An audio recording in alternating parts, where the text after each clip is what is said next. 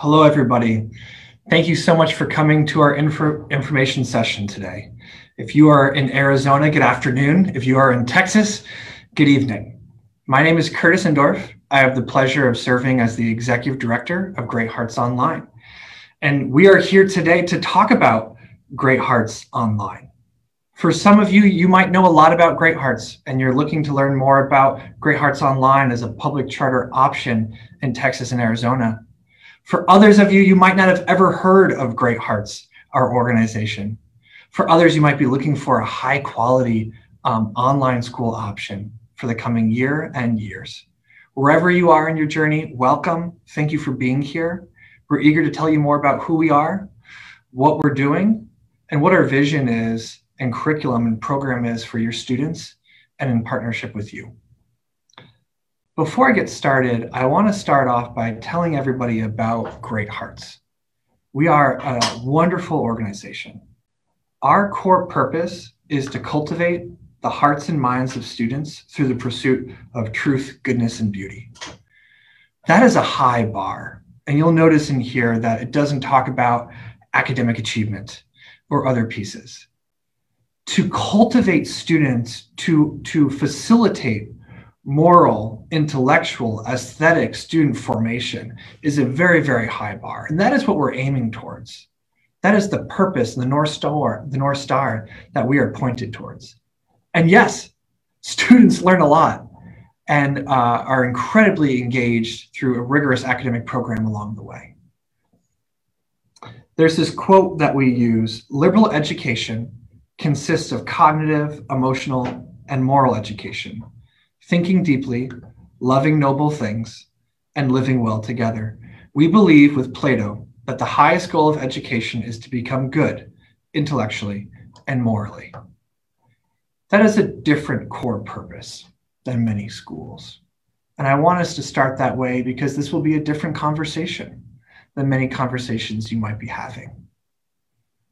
As we learn more about Great Hearts Online, you're going to hear about what parents have to say. You're going to hear about uh, what school will look like for school, uh, what, what schedules will look like for your kids. I want to start off by sharing some of the feedback that our parents have said. Three out of four families who attended brick and mortar schools in the fall are more satisfied with Great Hearts Online than what they did before. 100% of families who are in Great Hearts Online right now are more satisfied than the, than the public charter school, the non Great Hearts public charter school they were in the first semester. And 92% of former district families who went from a district school to Great Hearts Online are more satisfied with Great Hearts Online than what they've done before.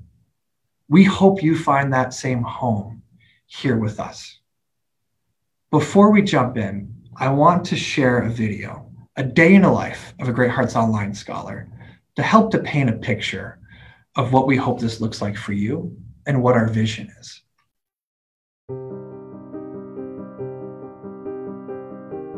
Maya and her brother Marco sit down at the kitchen table to start their school day. In homeroom, Mrs. Vasquez greets Maya and helps the class get organized for the day. After reciting the Pledge of Allegiance, everyone heads to first period. In English, Maya's excited to participate in a discussion of Anne of Green Gables. Yesterday, she read a chapter and watched a video with questions to help organize her thoughts. Maya's teacher helps the class explore the story's setting, including the time period, culture, and geography. Next is math, and the class reviews some proportional relationship problems from the previous day. Mrs. Chen watches them work while giving individual feedback using Zoom chat. At the end of class, Everyone answers a few questions, which helps Mrs. Chen tailor the next day's lesson to their understanding. In history, Maya participates in a lesson on Lincoln's House Divided speech. Mr. Baldwin annotates the text on screen while asking the students questions about virtue as well as facts. Maya loves the speech and feels inspired by the abolitionist's courage. Maya plays a fun review game with her classmates in Latin class then in science class, there's an experiment. Together, Maya and her dad watch a short video about the role earthworms play in making healthy soil. Then they go to the kitchen and take out a small container from the refrigerator. Maya guides her father through the experiment, and takes careful notes as he drips water on the worm. When the experiment's over, they take the worm outside and put it in the garden. At lunchtime, Maya and her mom sit on the back porch with peanut butter and jelly sandwiches. On the laptop, other families are on screen for a lunch bunch meeting, chatting and telling jokes. With all her live sessions done, Maya has a flexible afternoon. She stays outside for art class, spending an hour filling pages in her sketchbook. After that, she heads to the den to read Anne of Green Gables. Finally, it's time for soccer practice, and Maya goes to play with her friends. Back at home, Maya sets the table for dinner. When the family's done, Maya finishes her ELA homework, and her mom comes to help with math. Together, they watch a short video. Then Maya attempts some new problems and submits a photo of her work. She had some trouble, but that's okay. Mrs. Chen will help her understand everything tomorrow. Her homework finished, Maya closes the computer and goes off with her mom to read together before bed. Tomorrow's another big day at Great Hearts Online. We've been building that vision here in Texas for the past several months. Uh, Great Hearts Online currently operates as a K 6 public charter school in Texas, and next year we're planning on expanding to K 8 as a public charter option in Arizona, as well as a public charter option uh, in Texas.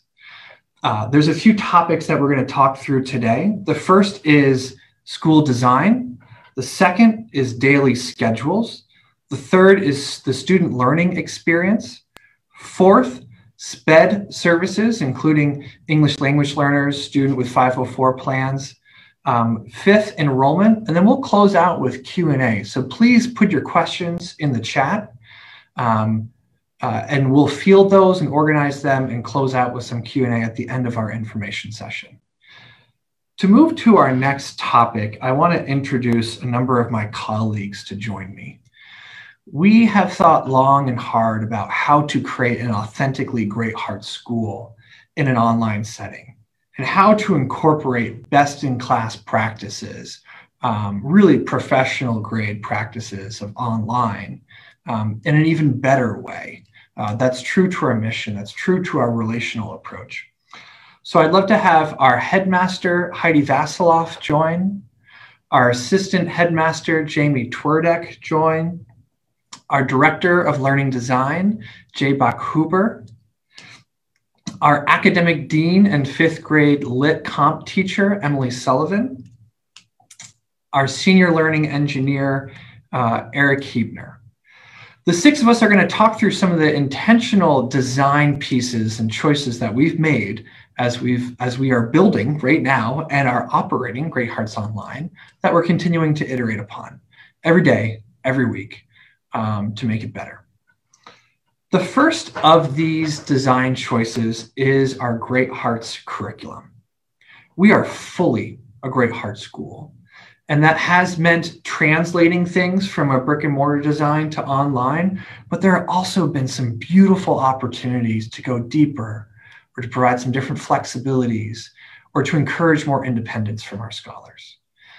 Headmaster Vasiloff, tell us a little bit about you and tell us a little bit about how we approach curriculum um, at Great Hearts and more specifically at Great Hearts Online. Good afternoon and good evening. I'm so delighted to be able to speak with you today. Um, I was a headmaster in Arizona Great Heart School for about five and a half years, a teacher prior to that. And uh, when this opportunity came up to really work within the online environment, kind of had to seize the day. Um, we want this, um, we want to be able to offer Great Hearts to anyone who chooses to join us. And this online environment allows us to expand that mission and that goal. So, a little bit about our curriculum. I delight in our curriculum, and I would say that in both the brick and mortar school and in our online school. And one of the things that I was most concerned about is can we do this thing in an online environment that we've been doing in our brick and mortar schools. And I will tell you that we've worked very, very hard, and I am excited about what we're seeing. And I will say that we are not only following the curriculum, but we found ways to maybe make it a little better in some other areas. We'll just kind of hold on to that for a second, um, as well as being able to still engage in Socratic discussion, still go deep into math and understand the why. We've been able to do science experiments both as a demo and have them do it at home. So be ready for a little mess. Um, to, to explore history and to not only look at it from every class, you know, you, you have this lecture that goes in and this discussion, but then to challenge them to go and find something that they are empowered by in the story of history as they move forward. Every student is engaged in both English and in another language, whether that's in the lower schools in Spanish or the upper schools in Latin, because we know that that acquiring of language is really important at a younger age. And then, of course, we believe that every every scholar, every person has the capacity to not only be an artist but a musician, and to engage in those works of art, and to look for things that are truly beautiful, and to things that we can find truth in science and in math. So we really engage in all of those elements. I want to speak real quickly, if I can, Curtis, about the upper, the middle schools. In this case, sort of our five through eighth grade. Um, students have six subjects. Actually, they have seven if you count music and art as sort of two different categories. Um, every day, uh, they'll engage in those activities. Um, they'll expand in that and they'll um, explore that with their teachers, some days live and some days asynchronously. But they're going to have math and they're going to go through not only just functional math, but conceptual math as well. Um, they're going to be engaging in history, uh, different subjects, different, different time periods at different grade levels, but again, building on that foundation of history. Um, they're going to engage in science, and every science is a little bit different. And then in literature, and I, I'm going to let Ms. Sullivan share a little bit of that as she comes on board. But we believe in these books that they're reading. They withstood the test of time. They they uh, compel us to look at really beautiful ideas and to challenge ourselves.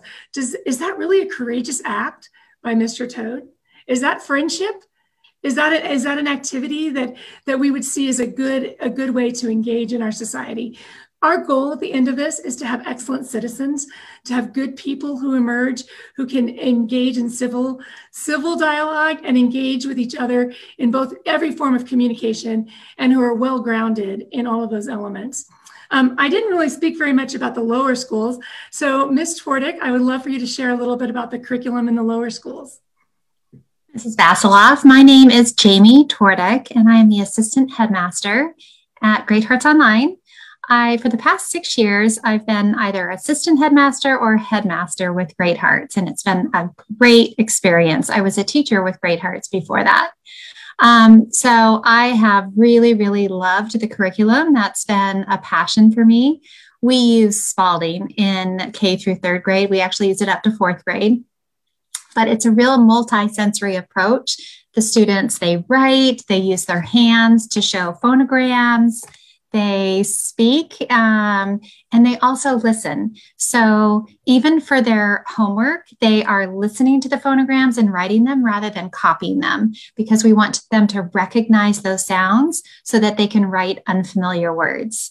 And then we use Singapore for our math curriculum. We use the three step approach, which is the same way we teach math in our brick and mortar schools. So first, the students learn through concrete examples, and that is they play with math. They get to play with manipulatives.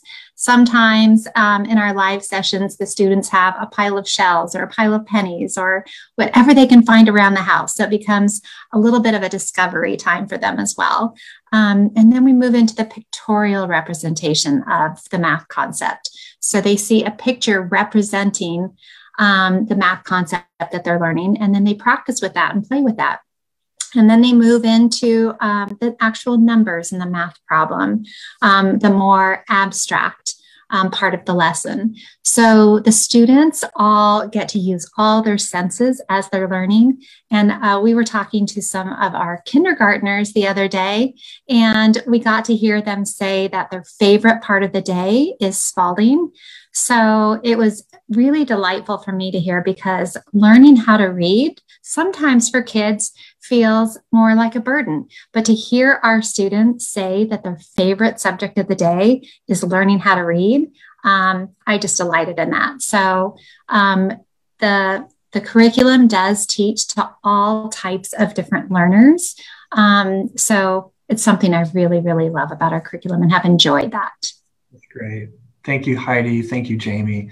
As I hope everyone hears, we have a robust academic program and model.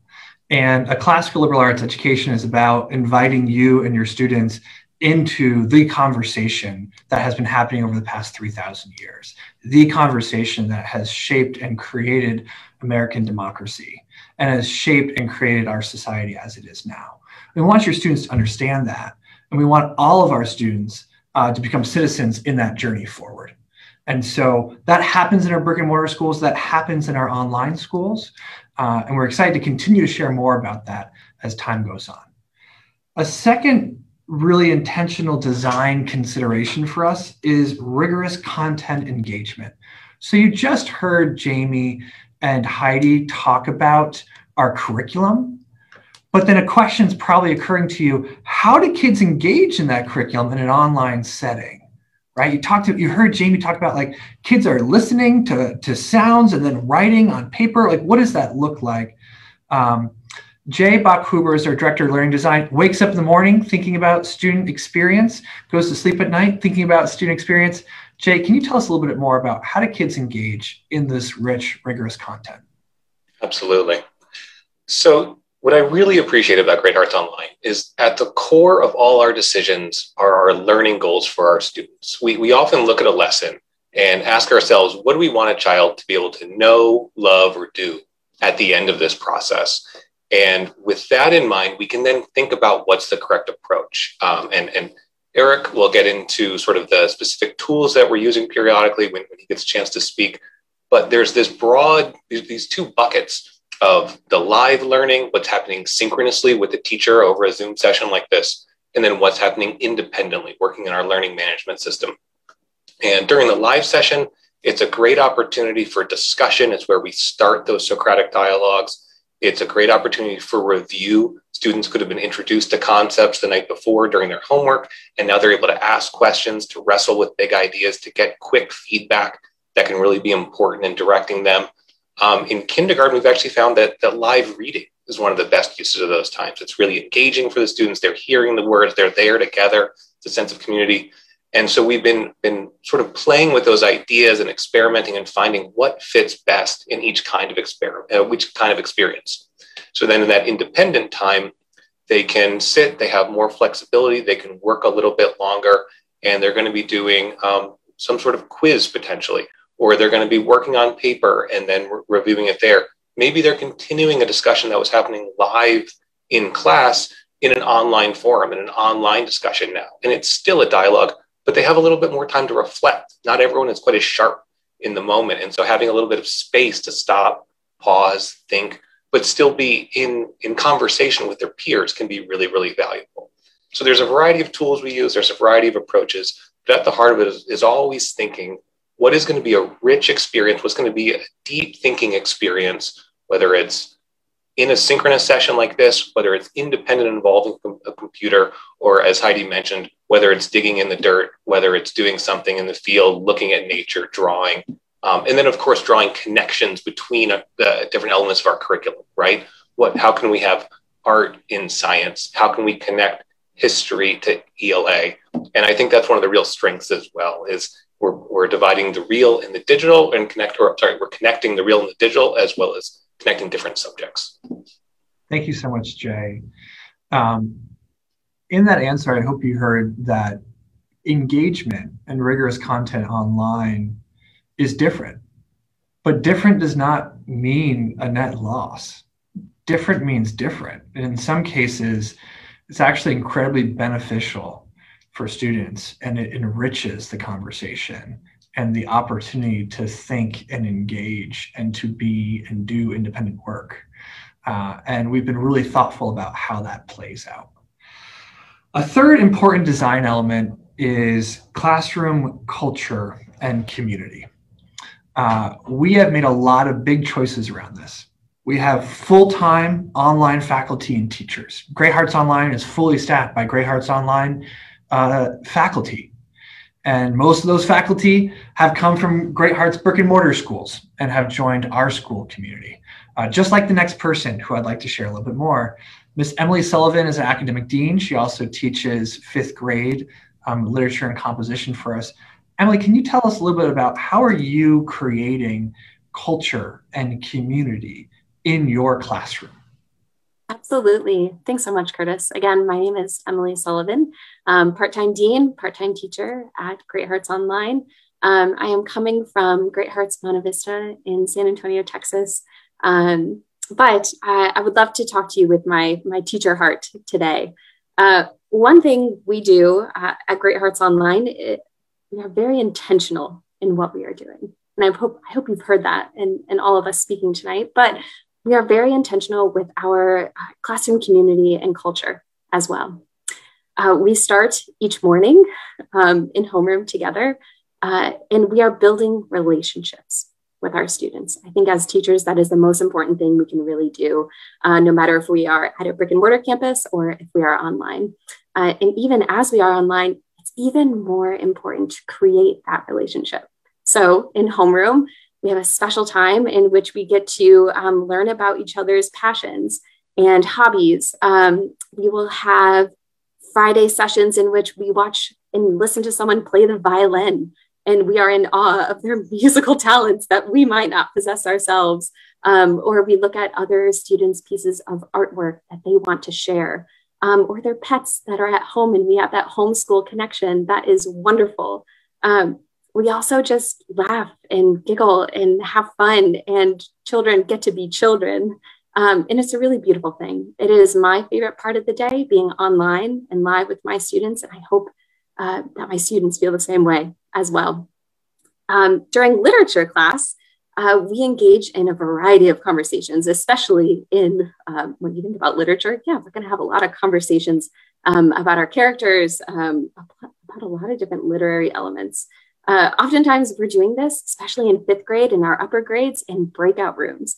So sometimes it will be a teacher led discussion but oftentimes it's a student led discussion in breakout rooms. And we have student leaders who rise to the occasion of this is my opportunity to be a leader in my classroom community. Um, and I love seeing students and their personalities come out throughout the year. Um, it's a beautiful thing to see. Uh, we also engage as early as fourth, even fifth grade in Socratic dialogue and discussion with our peers, in which we are wrestling with really big questions uh, the why of what's going on in the book and not just what it is for what it is. Um, it's a way for us to appreciate beauty um, in, in our great books and our, in our classical literature. Uh, at the end of each year, I always ask myself, as a professional and as a teacher, have I done my best to cultivate relationships with my students? That is the most important thing to me. Um, and if I feel like at the end of the year, that answer is yes, I know I've done, I've done my job uh, as a teacher. So I'm excited about it. It is something that we are very intentional about. Um, and Curtis, I'm going to send it back to you. Thanks so much. Thank you so much, Emily. Um, a fourth design consideration is, is attention. And it's the tension between real and concrete things, which you're hearing a lot, and intentional online tools. We don't want to use tech for the sake of tech um, it has to be what is the purpose of this and what are we trying to accomplish?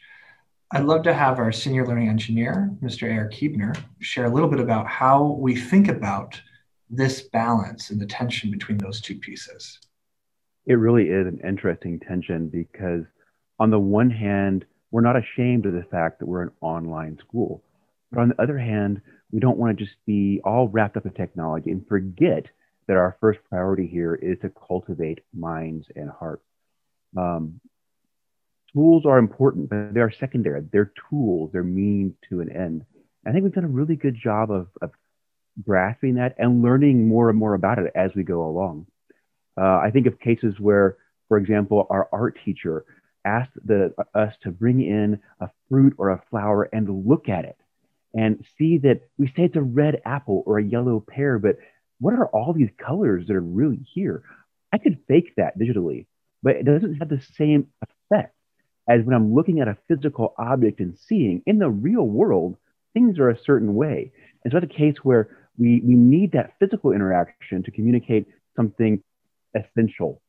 Um, or we have a, a, teacher who's planted a garden and is, is sharing that, that growing experience with, with, with our students. Um, all of us are loving to watch it too. It's really, really exciting. You can't fake that. You can't virtualize that. Um, on the other hand, we have things like uh, our videos for asynchronous education um, have the option for embedded checks for understanding. So as I'm watching this video, it's going to stop and ask me some questions. Hey, what do you think about this? What did you learn about this? Do you like this? What just happened? Um, I can't do that without virtual tools. Um, in Latin, they had this virtual mountain climb they're doing to track progress. It's a great way to engage our students in a way that it's hard to do otherwise.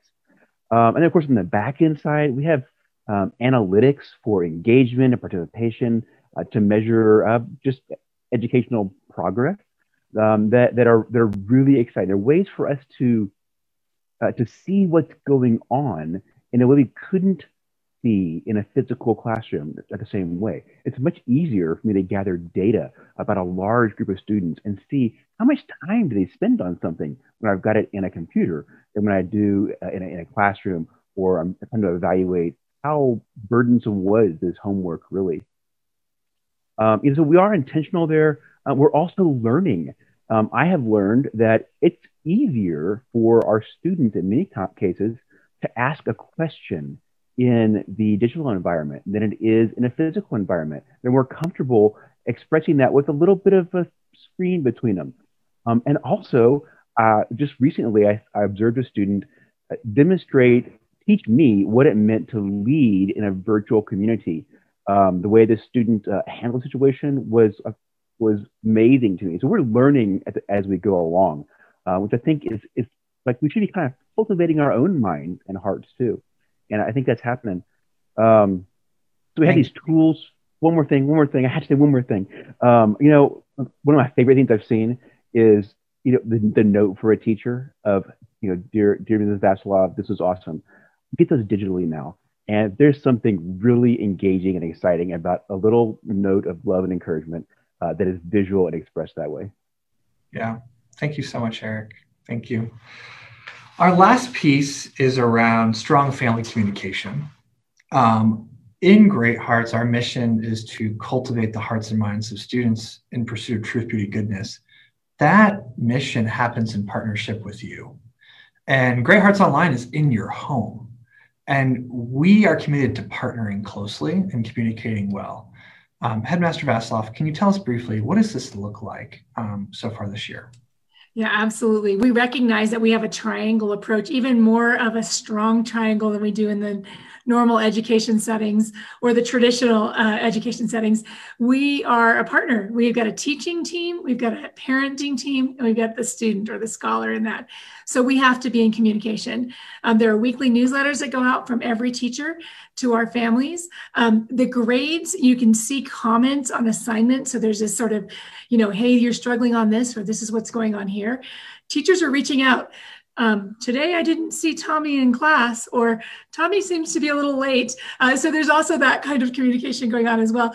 But one of the things that's most profound in the way this is happening is um, parents are engaging in this education with us because they're hearing, they're seeing the stories, they are aware of the math that's happening. They're looking and saying, What is actually happening here? One of my favorite things that I've seen this year is one of the families came to one of our coffees, oh, and we have coffees with the headmaster where it's just open forum.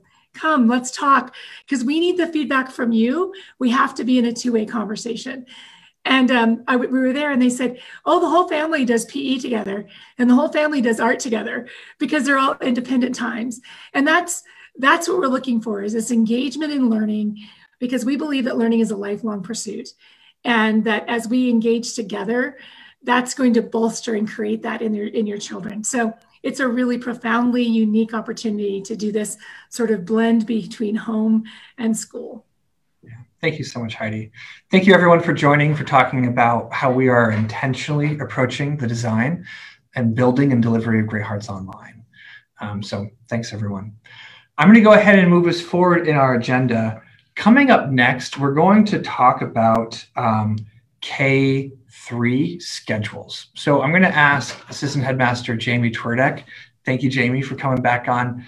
Um, tell us what to expect in the K3 daily schedule. What, what, is, what does this look like in, in kindergarten through third grade? Curtis, I would say I'm, I'm going to use second grade as an example because it's it's in the middle there. And um, the day is, I would say, if you're comparing it to your child going to school and having in school classes and then coming home and having homework, their academic day is going to be shorter than it would otherwise. Um, there's about two plus hours of live instruction. And there's, I would say, about six hours altogether in second grade of learning time. So that involves independent learning and then the about two to two and a half hours of live instruction. And the teachers during that live instruction, something that's really, really important to them is that they're creating some spaces where the students are both challenged academically and supported academically, but they're also feeling very valued and there's opportunities for them to connect with each other and build friendships. So we're creating these different spaces for our students um, to meet both of those needs and to meet all of their needs.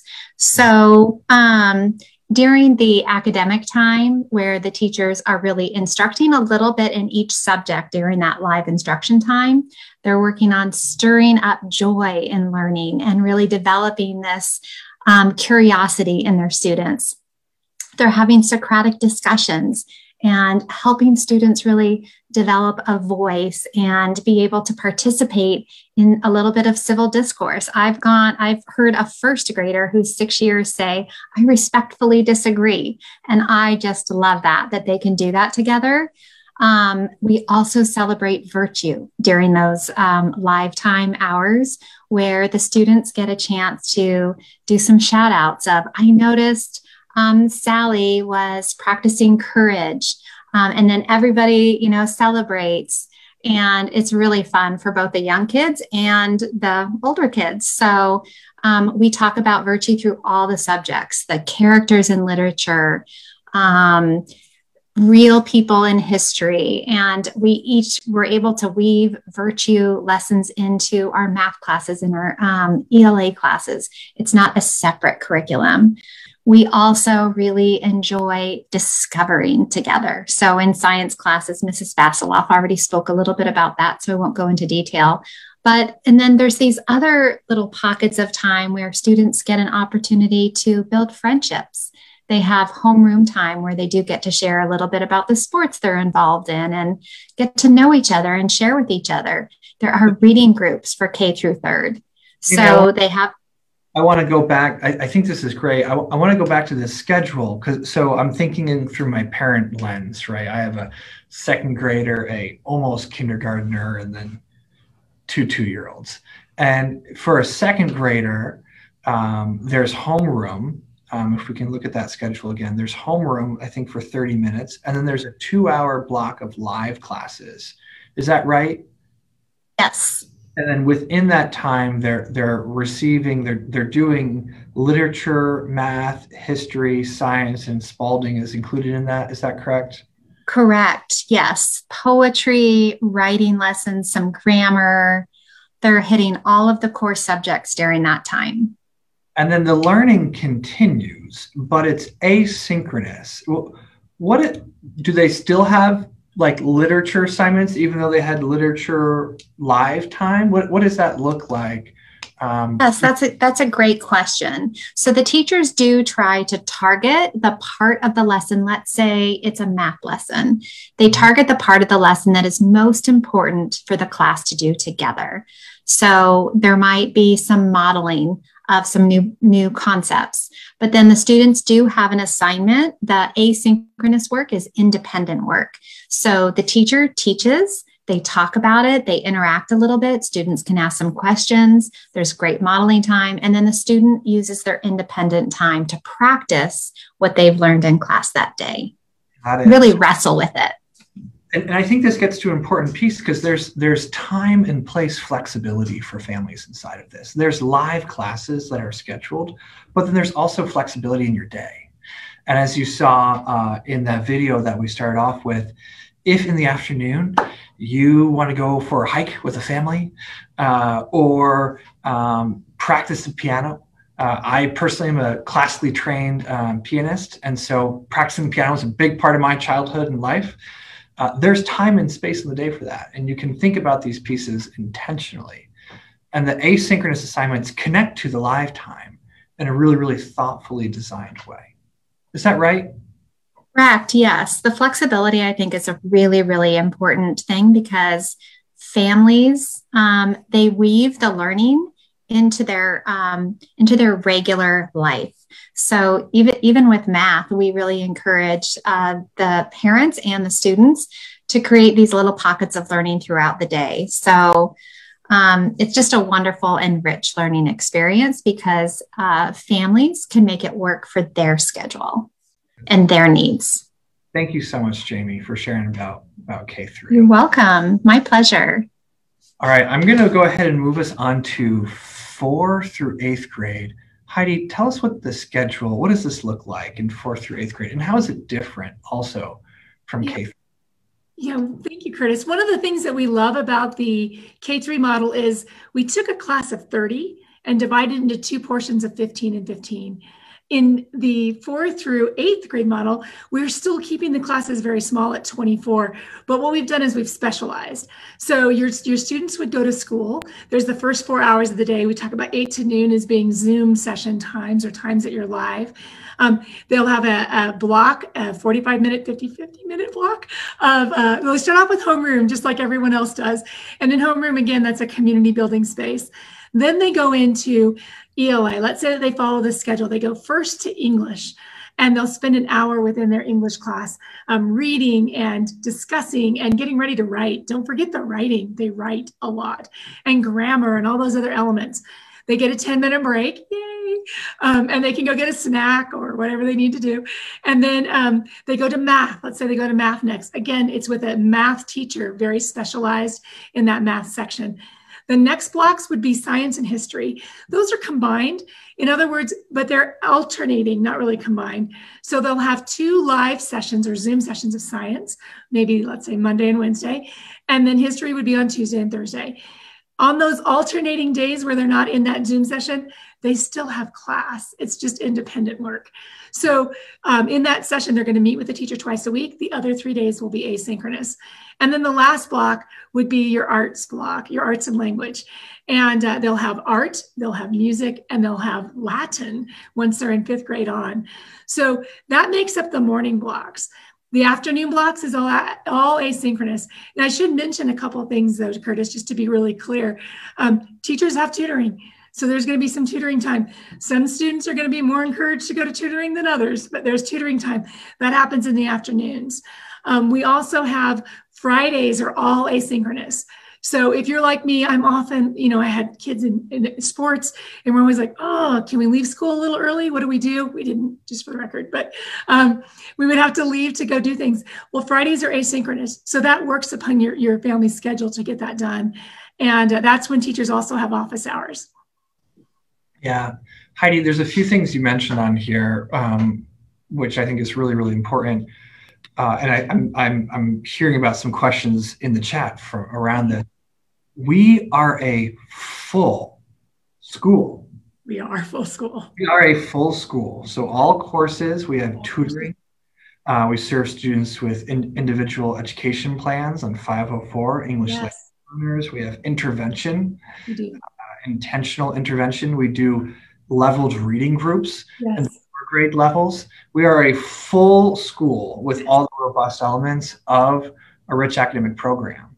And it's inside of it's inside of that and it's with that that parents are giving us a lot of feedback about what they're appreciating the time and place flexibility the small class sizes i don't know if jamie mentioned this we have fewer than 15 kids in a class in k through 3 and fewer than 24 in a class in, in four through eight, those are intentional choices.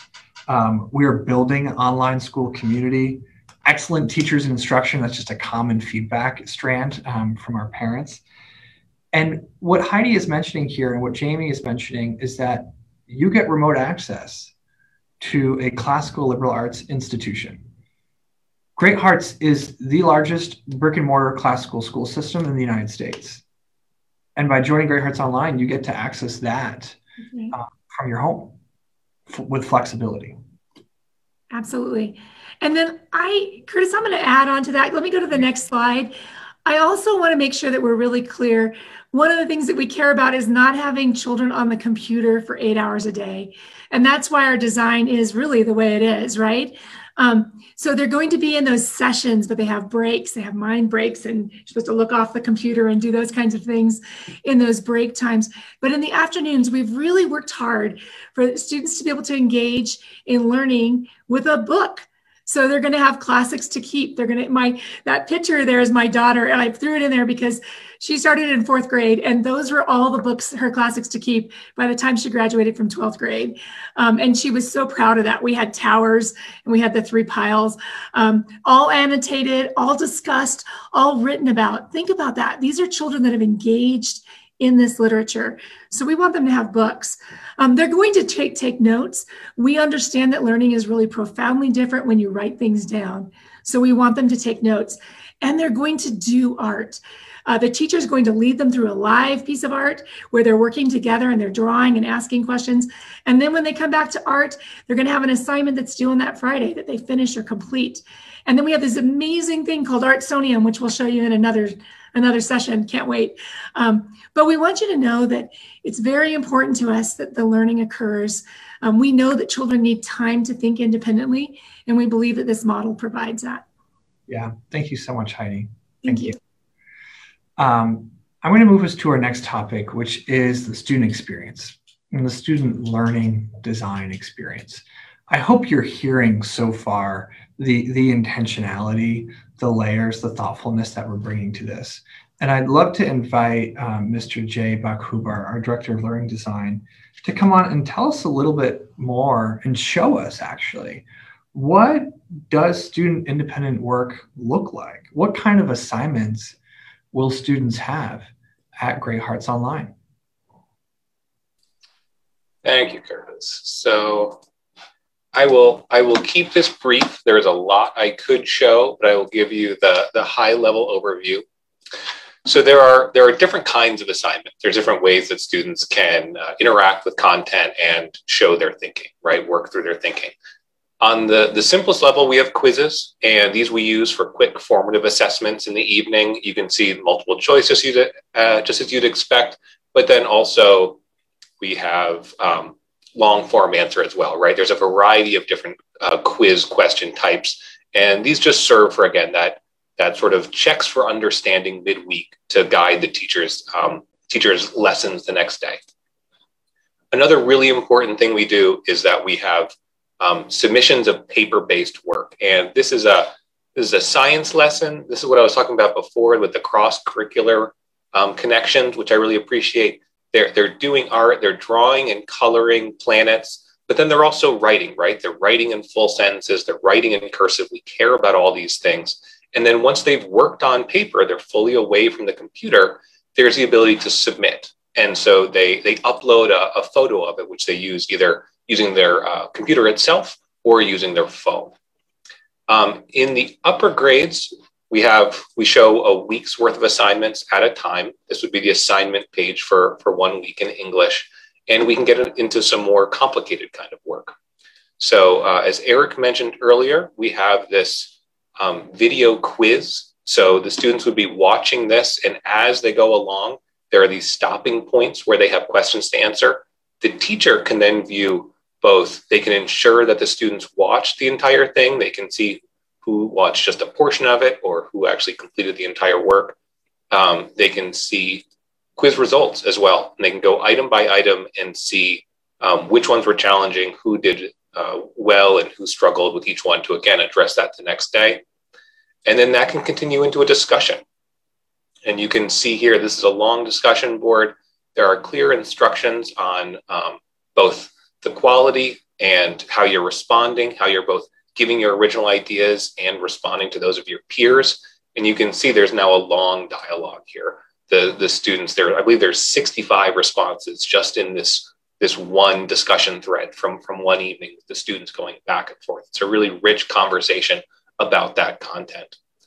And then finally, one of the, the what I think is one of the most interesting things we do is we can record video. Uh, at Great Hearts, we care a lot about poetry literature, as we've said, We care a lot about recitation and your ability to, to speak the poetry. We care about learning to memorize. Um, and so students can submit videos. And I will show you just one example of a video that was submitted for this assignment. A Fairy Song by William Shakespeare. Over hill, over dale, through bush, through briar, over park, over pale, through flood, through fire. I do wander everywhere, swifter than the moon's sphere, and I serve the fairy queen to do her orbs upon the green. The cowslips tall, her pensioners be, in their gold coats spots you see. Those be rubies, fairy favors. In those freckles live their savors. I must go seek some dewdrops here and hang a pearl on every cowslip's ear. What a bow. What a bow. That is. Wow. Yes. So there are, we have other tools, we have other kinds of assignments, but that gives you a, a brief overview of the kinds of work students are doing. So there's great variety in how kids are engaging and what their experience is in engaging with assignments and independent work uh, and showing their mastery of content and showing their thinking and engaging in discussion with others, not just live, uh, but there's a lot of really cr- great tools that we're using thoughtfully for the asynchronous times. Jay, thank you so much for showing uh, showing that to us. For our next topic, I'm going to um, turn it to Mr. Joe Barrera. Um, Mr. Barrera is our SPED coordinator for Great Hearts Online Texas, uh, and we are committed to serving all scholars. Um, Joe, can you tell us what does a typical live tutoring session look like for a student with an individualized education plan, with an IEP? Thank you, Curtis. Yes, um, as Mr. Endorf mentioned, I am the special education coordinator for Great Hearts Online. And, you know, truly, we have a unique opportunity, right, to offer a full range and continuum of services uh, for our students with specific needs. Um, so, for, for example, right, uh, um, our goal truly is to keep our small group sessions small, one to three students at a time, and to, you know, use the individualized education plans that our students have to, to provide explicit and targeted instruction um, to meet the goals that they have. So, for example, if I have a student who needs to work on increasing their accuracy um, in um, mathematical word problems, right? Uh, a math session would start with a five minute warm up of fact fluency, um, either addition or subtraction fluency activities. And then we'll transition into um, explicit targeted instruction on utilizing um, word problem strategies.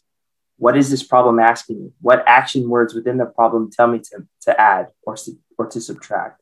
And then we transition into um, kind of that guided practice um, where our teachers are able to provide you know, really frequent um, and immediate feedback.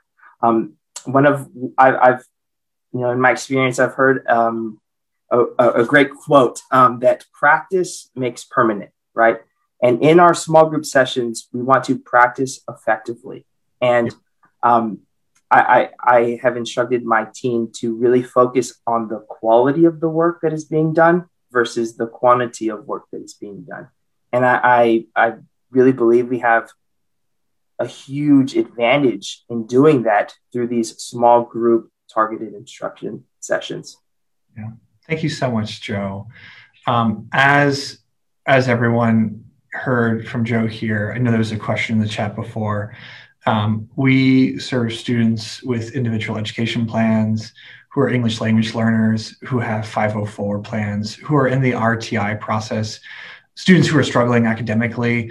We're committed to serving all students um, because we want to, uh, one, it's the right thing to do, and two, uh, we want to make sure we're building uh, a, a, inclusive and diverse society and citizen group for the future. Uh, and that's a really, really important part of our mission. Uh, Absolutely. community. And, and, Joe's a huge part of making that a reality for us. And Mr. Endorf, if I may just add one additional piece to that is um, we are able to offer all of these services to our students, um, but I am really placing a huge emphasis on providing additional supports to our parents. We have this incredible opportunity to bring right our curriculum into our homes. Um, but further, I'm able to meet weekly with the pa- parents of, of students with individualized education plans to help uh, troubleshoot any any concerns that have happened throughout the week, and so that we're not finding ourselves, you know, trying to dig ourselves out of a hole, you know, five weeks, six weeks into, into the school year. So um, I'm also able to offer supports to the parents, which is um, huge. Yeah, yeah. Thank you so much, Joe. Thank you. Um, I'm going to turn it to our final topic. Uh, Miss Juanita Flores is our senior registrar for Great Hearts Online. Um, people are asking questions. I know it's in the chat and we're responding to it. What's the timeline? Where do I go? How do I learn more? Can you help us just uh, talk us through the, the headlines of enrollment, timeline, process next?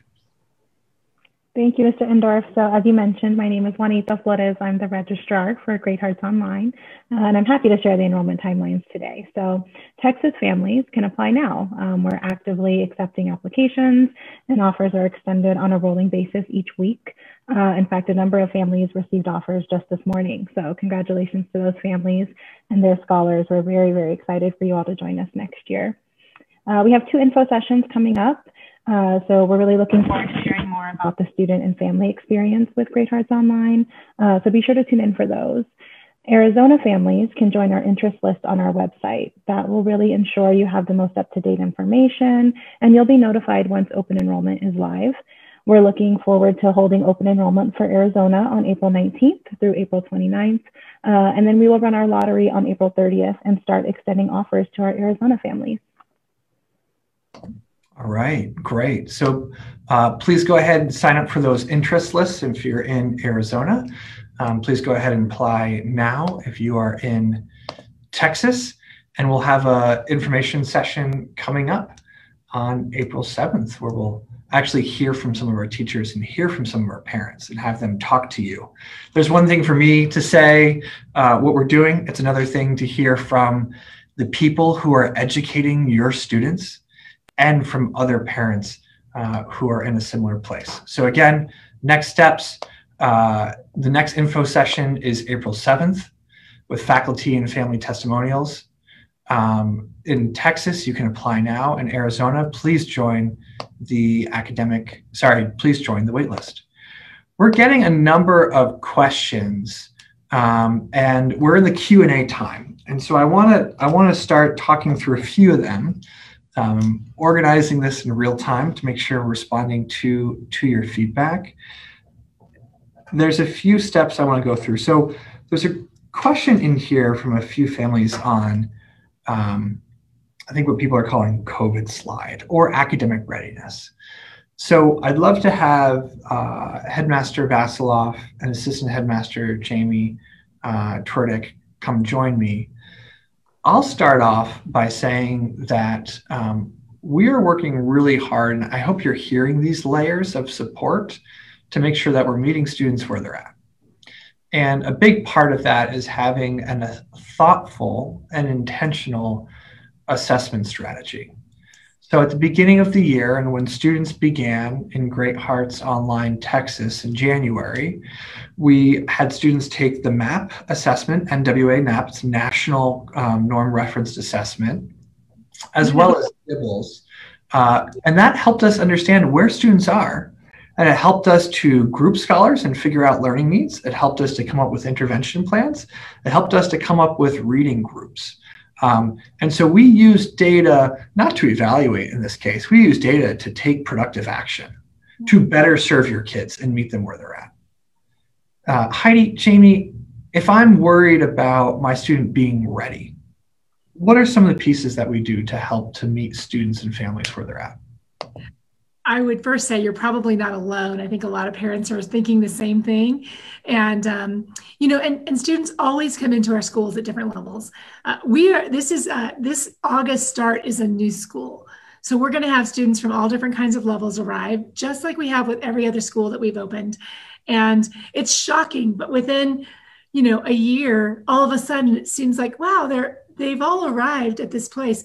It does take intentionality. And I think um, Ms. Tordick will talk about some of those things, but I think in particular for me, the reading groups have been profoundly um, enlightening. We group children together where they've landed on the assessments in terms of reading but they can move up or they can you know they can move out not up they can move to a different group if they're ready or they can stay with their peers in that same group that ability to meet them where they are is really important to us also i think a classical liberal arts um, education really lends itself to a variety of levels because the question could be taken here or it could be taken here or it could be taken here and that allows students to uh, to who are those high flyers who want to explore more to really be able to do that. It also allows us as teachers to identify and work with those children that are down that are working at a more basic level until they're ready to move up. Ms. Yeah.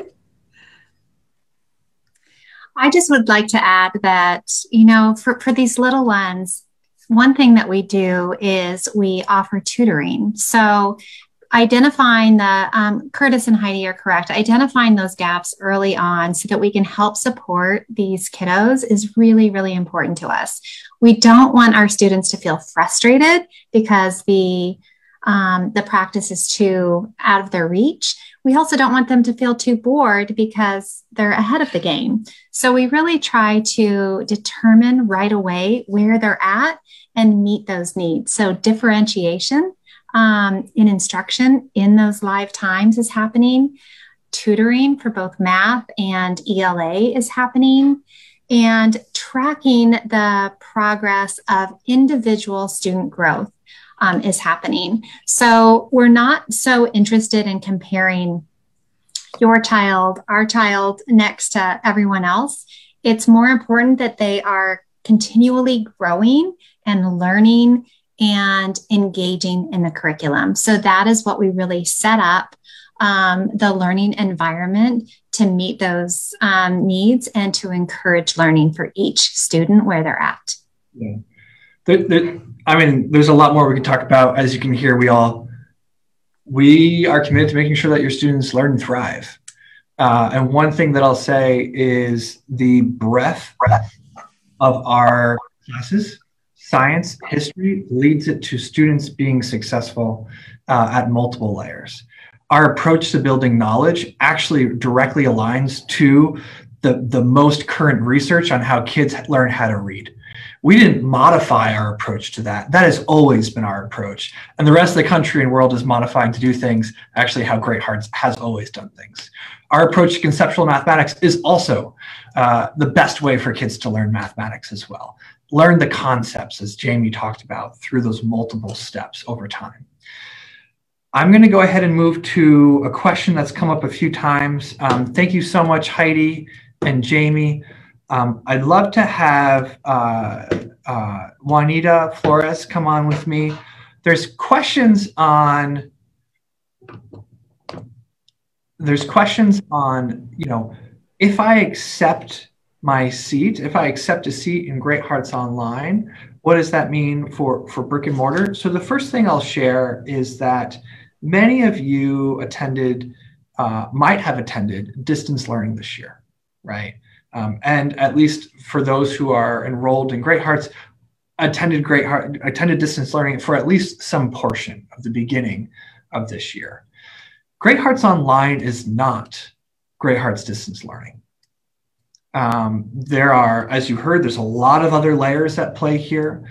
There's a whole professional team committed to providing and building a Great Hearts Online school and program.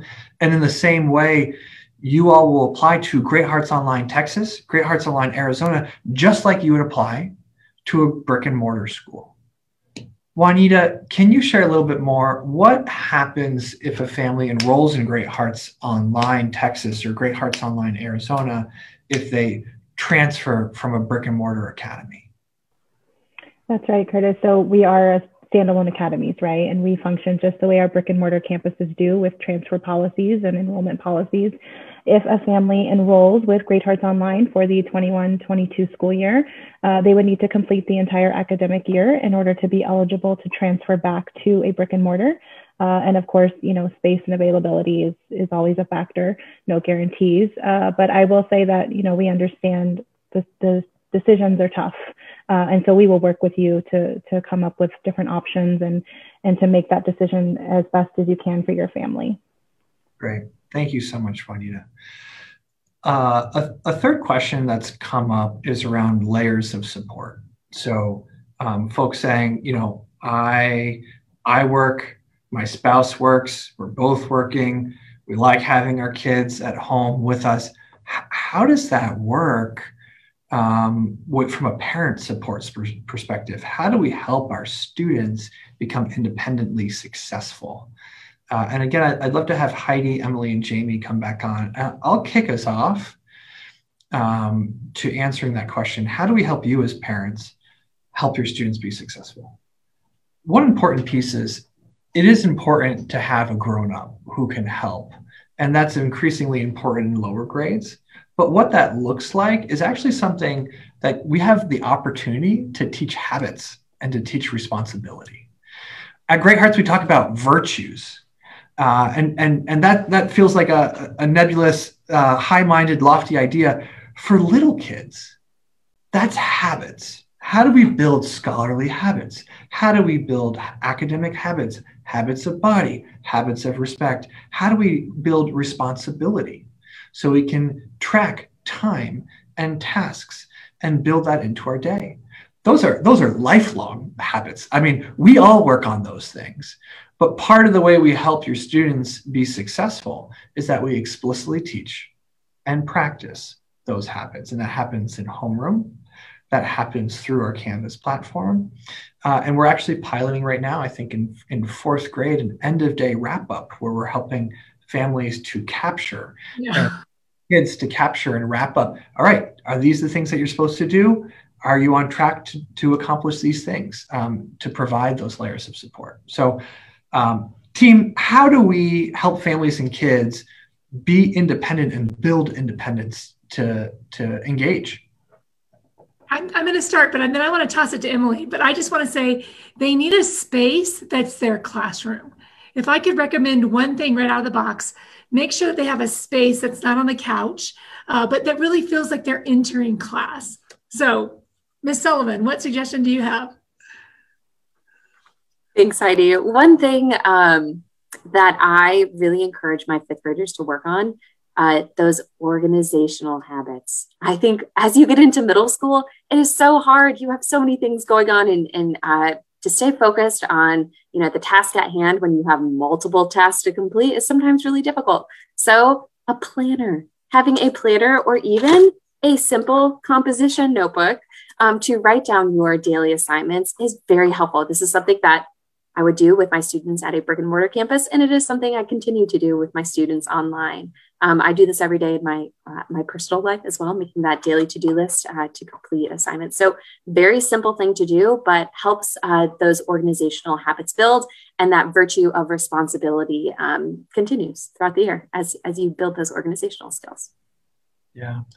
Two other things I'd add. Oh, Oh, please go, Jamie. Sorry. I was just going to add one little thing that I've I've talked to parents before about, and I know it's hard, but if you think of a small toddler, like one year old trying to learn how to walk, and you think of somebody coming out of a horrible experience when they're 70 trying to learn how to walk, it's a much different experience. So um, training the children when they're little as far as allowing them a few consequences. It doesn't hurt much. It's not going to impact their future, but just allowing that. So if they forget to turn in their homework, see what happens. It's a lot easier for them to learn those lessons when they're young without a big consequence than it is for them to not pay an electric bill when they're in college and have their electricity turned off. So those little steps of um, natural consequence are actually gifts for the students. So it's this wonderful opportunity to learn when it doesn't hurt, so they don't have to learn when it does hurt. So that would just be an added. Jamie, what a what a wonderful parent lesson too. I think I'm I'm I'm thinking about that. I'm going to go home. I'll be a better dad uh, tonight um, for that. So thank you. Two other things that we do um, in Canvas, we provide parents with access uh, to to look in and see what their students are doing in Canvas. So you can you can peer into what your scholars are doing in, through your own account. And we're also building training modules. So we provide training ahead of time to families on Canvas. We provide training ahead of time to students on Canvas to help to set up everyone to be successful. Uh, we were able to pilot that and to start off that um, in December and through the winter in our in our Great Hearts Online Texas launch and pilot, and we'll continue to build on that um, in the coming year. So, thank you, everyone. I'm going to go ahead and close this up. I know there's a lot more questions that are going on in the chat. Uh, we appreciate your enthusiasm, your really great questions. We'll continue to go through and try to answer these afterwards. And please sign up to learn more come to our next information session. Learn about Great Hearts Online from teachers. Learn about Great Hearts Online from parents who have their kids enrolled now. I want to start us off where I hope end us up, end us up where I hope we started, which is this is a journey that we are going on together.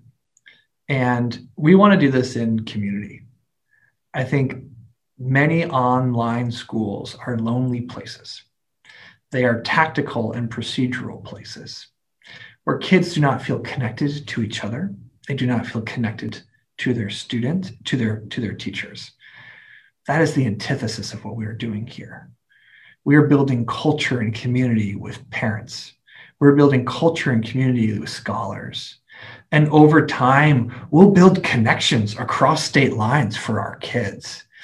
Uh, imagine going to school and knowing people across the United States, across um, Arizona, across Texas, and having those connections and those relationships, and what that would mean for how you learned, how you grew up, how you saw and experienced things. It is an amazing gift um, that we are able to offer Great Hearts Online as a public charter school in Texas and in Arizona in the coming year. Thank you so much for coming here today. Thank you for learning with us and asking great questions. And I hope to see many of you again on April 7th when we come back for our next information session. Thank you and have a great evening.